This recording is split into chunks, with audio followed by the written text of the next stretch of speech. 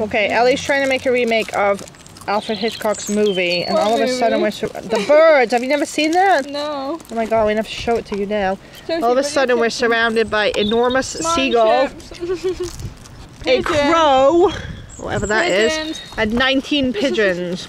Put do my chip set down. There's six pigeons right there. They're they're a little bit close for comfort.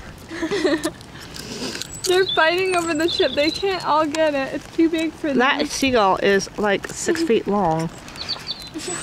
Come here, chip. No.